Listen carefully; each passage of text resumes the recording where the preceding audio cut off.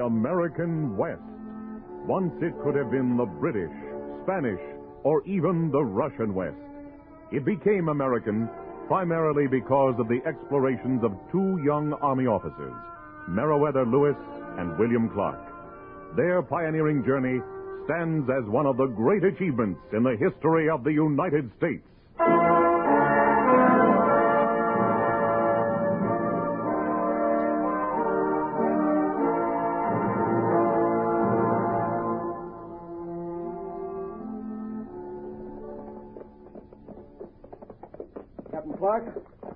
Clark? Here, Sergeant Ordway.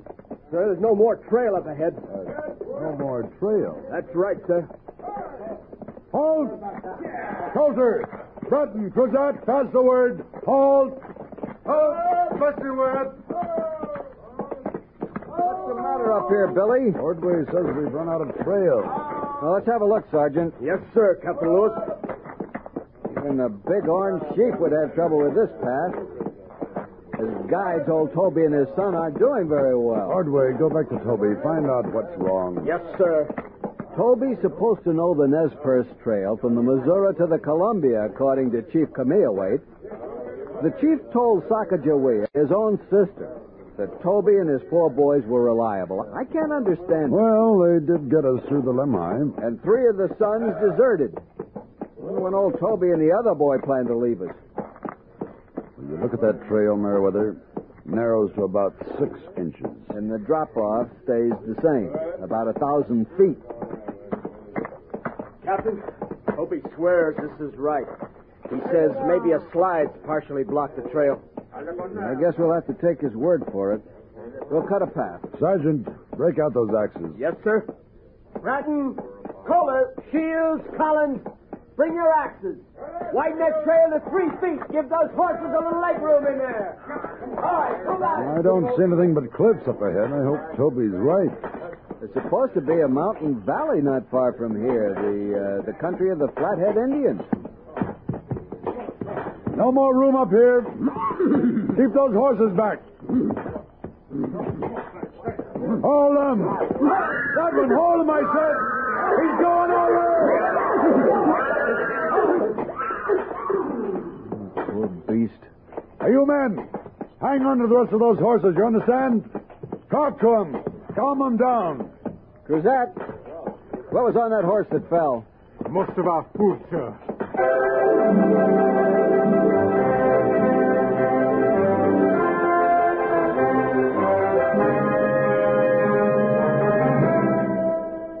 Horizons West, the continued story of the Lewis and Clark expedition. Now, with Harry Bartell as Meriwether Lewis and John Anderson as William Clark, listen to Chapter 7 To the Pacific.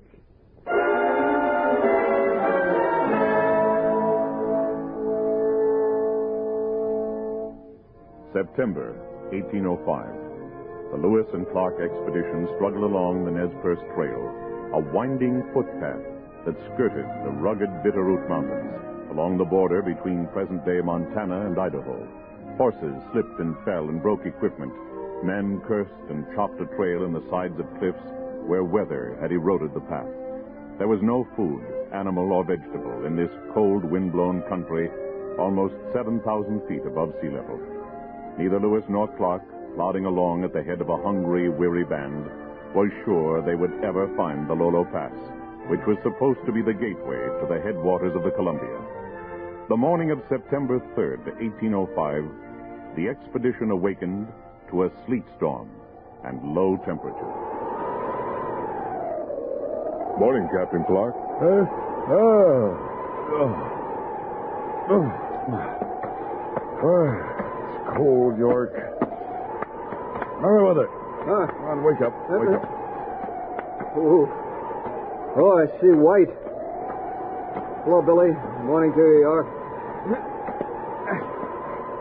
Get the uh, get the men up, York. Get those baggage covers thawed out. Yes, sir. Tell the sergeants to detail men to rub down the horses. I don't want any animals slipping off the trail because he's too numb to know where he's putting his feet. Yes, sir. Billy Clark and I kept the men moving, and it was lucky that the trail was appreciably wider. because the sleet was now blowing across the mountain with the force of a gale. It took us most of the day to travel five miles. Along toward evening, the path started downhill, the storm faded away, and we could see a mountain valley below. On the floor of the valley were the lodges of an Indian village. Looks like old Toby was right. That could be the Flathead Village. Looks deserted.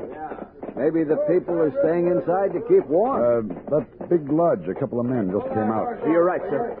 They're looking this way, pointing at us. The two men were joined by others who came in twos and threes from the different lodges to watch our approach. Ordway. Ordway. Ask Sacagawea if she can talk to these people. The Salish, or Flathead tongue, was vastly different from Shoshone and most other Indian dialects, Sacagawea explained to us. She was sorry, but she had no knowledge of it. We were forced to call upon George Drouillard, exponent of the Plains Country Sign Language. We moved into the village where we stopped before a group of excited warriors, including one who wore three eagle feathers and looked like a chief. We made the universal sign of peace, which they understood, but seemed not to believe after looking at York. The chief and George Drouillard spoke to each other in sign language. His name is Three Feathers. He's worried about the York's war paint. War paint? Uh, yes, sir. A strange white tribe with no blankets rides in with their biggest warrior painted black. Ah. That is very bad medicine. Explain that York's natural skin is black, just as ours is white and theirs is red. Tell them our blankets are in our packs. Although he tried, George seemed unable to make Three Feathers understand.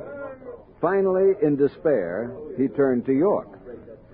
York, uh, how about letting Three Feathers try to rub off the black paint, huh? Others did that to me. Shoshone, Mandan. Ain't gonna put up with no more insults. No insult, York. Three Feathers has never seen black skin before. You can be patient with his ignorance, York, to save us all trouble and maybe killing. All right, sir. This once I'll put up with their ignorance for the sake of the corps. George indicated York's massive arm. Three Feathers advanced and vigorously tried to rub off the war paint. When he couldn't, he relaxed and gave us all a grin of fellowship. Hmm. Someday I'm gonna break somebody's ignorant head wide open. York was mollified, however, when a crowd of squaws and young men gathered to admire his height and his broad shoulders. He even took off his shirt so they could get a better look at his muscular body. Three Feathers ordered robes spread in the lodge, and upon his invitation, Billy Clark and I entered along with George Drouillard. George, uh, this will be the pipe ceremony. After it's over, maybe you could bring up the subject of horses. Yes, sir. We want to make up for the ones we lost. huh? Right. Hmm. I guess we uh, sit over here. Uh, no, sir. It's over here. Three Feathers and his minor chieftains entered and sat. The chief lit a pipe and passed it to Billy Clark. I smoke to peace, to good trading. White man, black man, Salish. In an amiable mood, Three Feathers went into a long harangue of friendship. And as he talked, we could understand what Sacagawea meant when she said the Salish tongue was different. It was sort of a brogue, complete with rolled R's. It reminded me of Welsh, and of the old legend that says that America was discovered by the Welsh, who then disappeared into the interior of the continent and became a tribe of white Indians. I took out pencil and paper and jotted down the sounds as best I could. It would make an interesting bit of philology to show to Mr. Jefferson.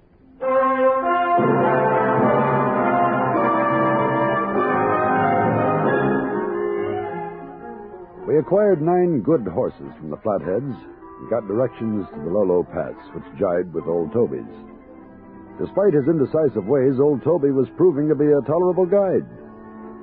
We moved down valley to a fork of the Bitterroot River. where we stopped to make camp and prepare for the rigors of the Lolo Pass. Unsaddle an egg! Stow the baggage! Captain Lewis, Captain Clark. Good fire you have going there. Yes, sir, but Make another one just for warmth. yes, sir, but what'll I cook? No flour, no corn. Nothing, sir.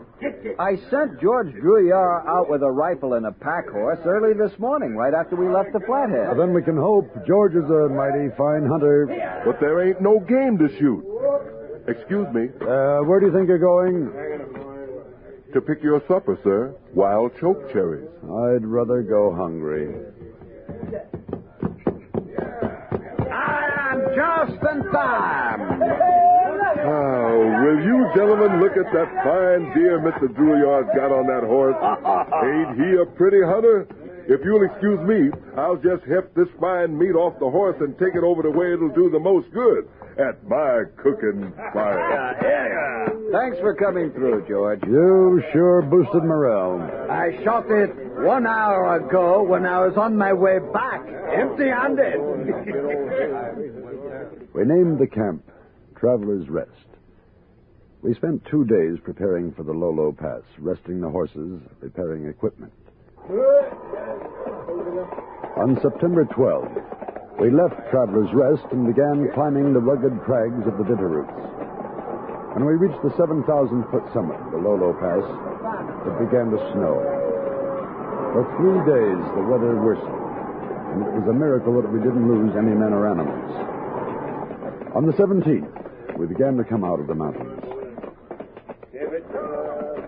Billy, it's a little warmer. I'm glad to be out of that snowstorm. Oh, so am I. We've got to solve this food problem soon. Lower altitudes and warmer weather ought to mean that we can find some game. Why don't I take George Drouillard and the other hunters and uh, push ahead?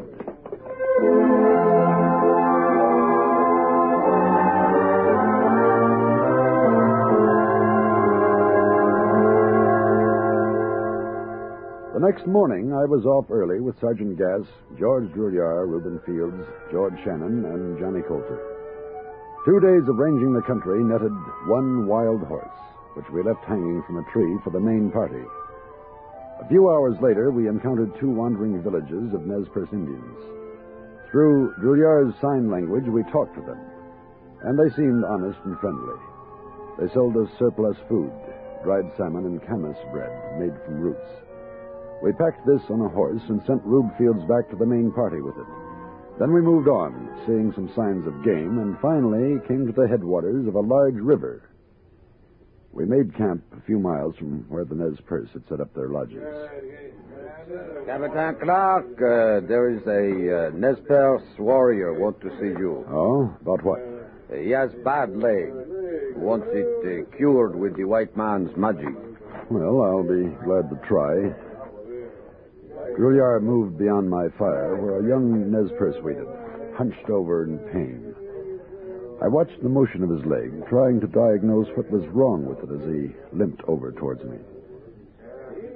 Ask him where the pain is, George.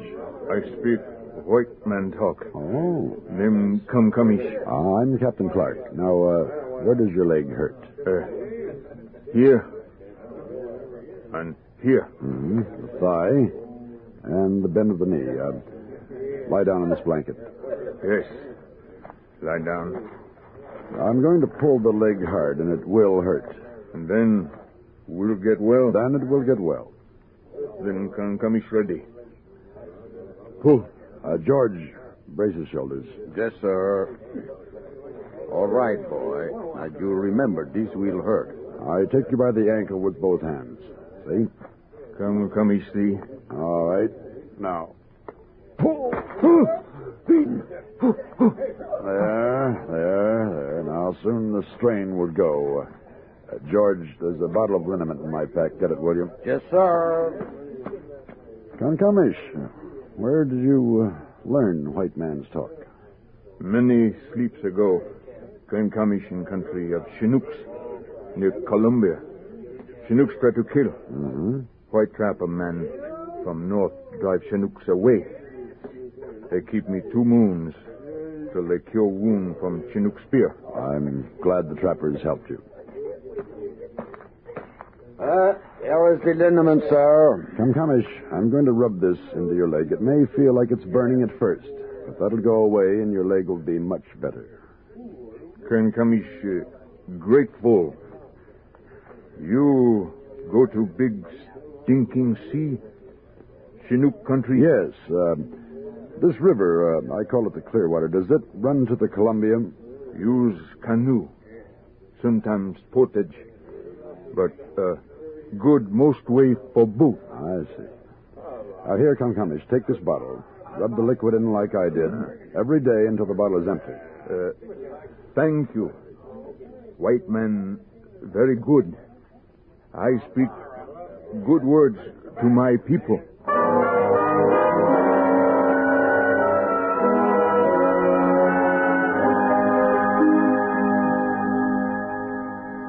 The day Meriwether and the main party joined us, we brought in four deer. Unfortunately, it was more than enough meat because Meriwether and his party were unable to eat. The sudden change to a diet of dried salmon and camas roots had given them all dysentery. Nevertheless, Meriwether insisted upon making plans for the resumption of water travel as soon as he had seen the river. You say the Clearwater is navigable and leads to the Snake River, and that takes us into the Columbia. Well, there are rapids. There'll be portages. Nothing as bad as the Great Falls of the Missouri, I hope. Nothing could be that bad. I told Sergeant Gass to select trees to make into good, strong dugouts. Maybe the Nez Perce will have a guide or two to add to old Toby. Somebody with local information. I hope so. Uh, they've agreed to look after our horses until we come back. Well, Sergeant Pryor and a detail can round up the horses and brand each one. In the space of less than two weeks, the ailing members of our party recovered. The horses were branded and entrusted to the Nez Perce. And our new dugouts were ready for the journey downriver. And our Indian friends provided two chieftains who would accompany us, at least part of the way, Twisted Hair and Tetoharsky. Morale was high when we started down the Clearwater on the seventh day of October, 1805. Captain Clark, it's a treat just to be riding a boat. No towing, no pulling, not even any rowing to speak of. Hey, what about steering, Sergeant? Hey, what's the Gass doing up ahead? What are you getting at, Cruzat? Well, Sergeant Ordway, better look sharp. There's fresh water ahead. Rapids to you. It looks to me like Gass is making a proper approach. Sir, he's too close to those rocks in a new and untried boat. Gass? Look out! Look out! Gass's dugout seemed to be drawn to the rock like a piece of metal to a magnet. It struck, cheated in the current, slammed into a second rock, and started to sink. Hang on to the rock, you men! Hold the boat! Most of our non-swimmers were in Gass's boat. Now they behaved with rare presence of mind, following Cruzat's bellowed instructions. Pull your boat close! Hang on to us! We'll take you in! The men obeyed. Our oars flashed out, and Cruzat steered to the beach in safety. An examination showed a split in the forward portion of Gass's canoe. Looks to me like it was made too thin. Uh, we can read Get at it, then. And get that deer in the sun to dry. York! York! Here, sir. Where's old Toby? Why, I saw him and his boy heading upriver as fast as their legs would take him, sir. Go find Captain Lewis. Tell him Toby's run away. I know. I know. They ran east without paying any attention to me. Or to me either, sir. Uh, this morning, old Toby was pretty scared of the dugout. He say he do not like the big water. I guess we've seen the last of him. Lucky we've got Twisted Hair and Tetoharsky to guide us. York, if you feel like making the fire, Captain Lewis and I shot some blue teal. Teal? That's good. What about bigger game? Any signs? Not a thing. Looks to me like we're going to have to become salmon eaters, like the Indians.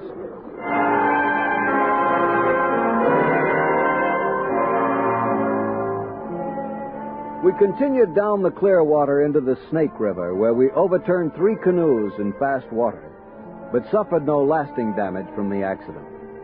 What bothered us most were the persistent reports from friendly Indians that the nearer we came to the ocean, the more unfriendly and dishonest the natives.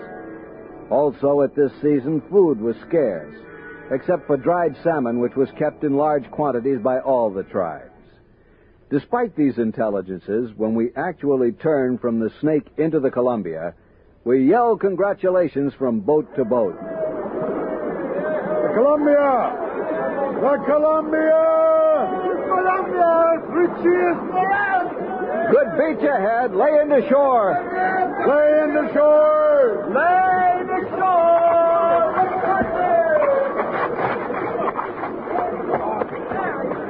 Throw that baggage!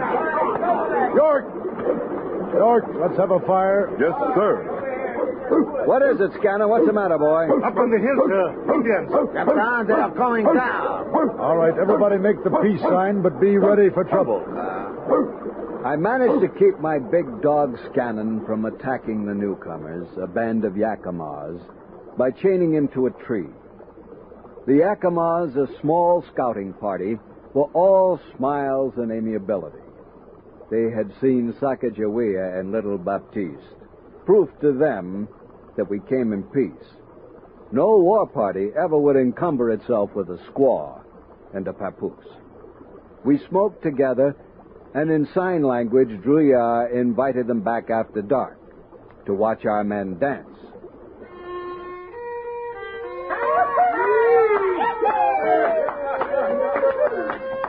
The Yakimas returned that night. Two wore red British Army coats, and a third sported an American Navy pea jacket. These had been purchased from Indians to the west who had originally acquired the goods from the trading ships which occasionally put into the mouth of the Columbia. Our guests watched the dancing with delight. Say, Captain Clark, nobody's going to top Sergeant Gass unless York gets out here. Go on, York. Give us the old Kentucky stuff. All right, sir. I'll do it. Here we go, men. Keep that fiddle going, Mr. Cruzat. Tonight, I feel like stomping. Oh, look at him! Look at him go! I've never seen anything like it. I was wrong about the Kentucky stuff. This is brand new. This is the Yakima stuff.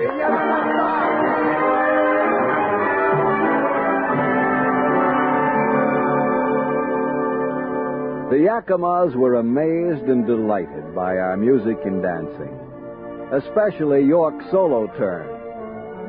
One of the chiefs told us in signs interspersed here and there with an English word that we would always be welcome as brothers among the Yakimas, and we promised to visit them upon our return. On October 22nd, we approached the Celilo Falls of the Columbia. We camped above them, and Cruzat and I went to reconnoiter. Looks bad, Captain. Cruzat, what about that channel over there? Oh, too narrow, too rocky, no space to maneuver. No, we portage then. Oh, I'm sorry, sir. The men will have to be on guard, uh, according to our two Nez Perce guides. They say the Indians in this region make their life work of stealing. We'll close the area to them. We'll post sentries with orders to shoot all intruders. Yes, sir. That's the only way. The portage wasn't difficult, and we made it without losing anything to the local thieves. After we had finished, Twisted Hair and Tetoharsky, our two Nez Perce guides, came to say their goodbyes. This was as far as they could go without risking their lives, because the tribes below the falls were at war with the Nez Perce. We were warned to watch the coast Indians, who were a despicable lot. In fact, the downriver Indians, according to rumor, planned to murder us the first chance they got. We pushed on and two days later reached the Dalles, the long narrows of the Columbia, which was nothing but rapids, the worst we had encountered west of the Continental Divide. That sure is rough water. I know, Sergeant, but I don't want a portage again. I don't think there's much choice, Meriwether. What did Cruzat say to you? He just whistled and shook his head. Unfriendly Indians are all around us. Look over there. There's a group on the river bank right now watching us.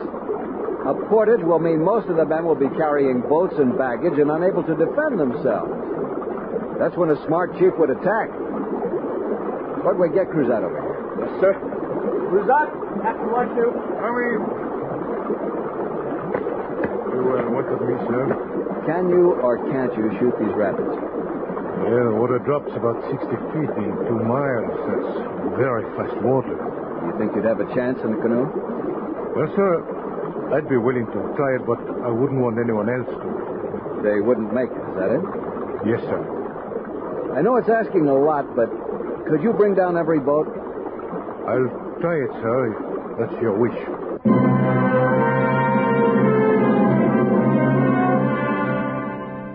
Cruzat spent considerable time in studying the rapids, looking at them with an expert waterman's eye. The rest of us stood by respectfully, waiting for the signal that he was ready.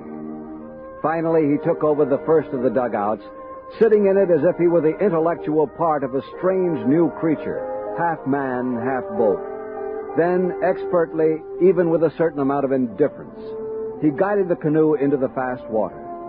Noticing everything, even the different tones of color of the water which spoke of the nearness of submerged dangers.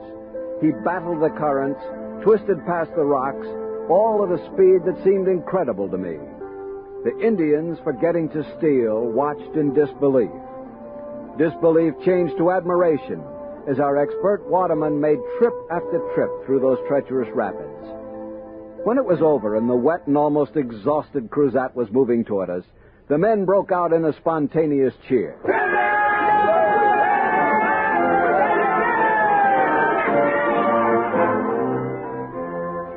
As we neared the Pacific, the weather became disagreeable, almost disagreeable as the boatloads of ill favored Chinook and Clatsop Indians who paddled out to look us over. Then, on November 7th, 1805, Meriwether Lewis pointed downriver. There it is, the Pacific. My eyesight was less keen. I couldn't see the ocean, but I could hear the pounding of the surf. The men showed little or no enthusiasm. Fog and rain were making us uncomfortable. Strong wind was whipping up the surface of the water, drenching us with spray. I can hardly see any more, Captain. Lay in the shore! Lay in the shore! Yeah, this is a miserable wet spot. Captain, what'll I do for dry wood? Can't start no cooking fire here. Hand out some dried fish, then. Well, here it is, the Pacific. Yes, but what's Pacific about it?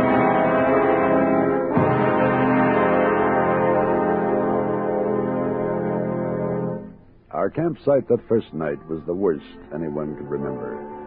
We knew, however, that we had to rise above present miseries. Obviously, we would winter here.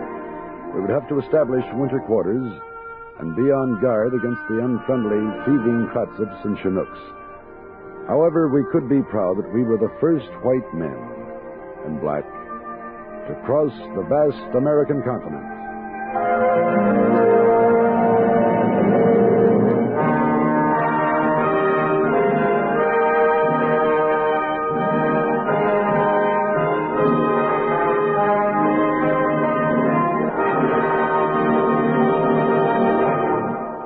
Listening to Horizons West, the continued